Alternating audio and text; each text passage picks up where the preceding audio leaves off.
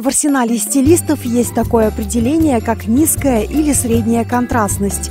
Говоря бытовым языком, речь идет о том, является ли внешность человека яркой или же она деликатная. Обладатели неконтрастной внешности становятся более выразительными в одежде приглушенных пастельных оттенков. В зимних коллекциях такие цвета встречаются редко, а потому представляют собой особую ценность. Гармоничные, дружелюбные и уютные пастельные тона принято оставлять для теплого сезона, но веских аргументов для такой гардеробной политики нет. Оттенки легко между собой сочетаются, находят место в любых стилевых направлениях и отвечают цветовым тенденциям наступившего года.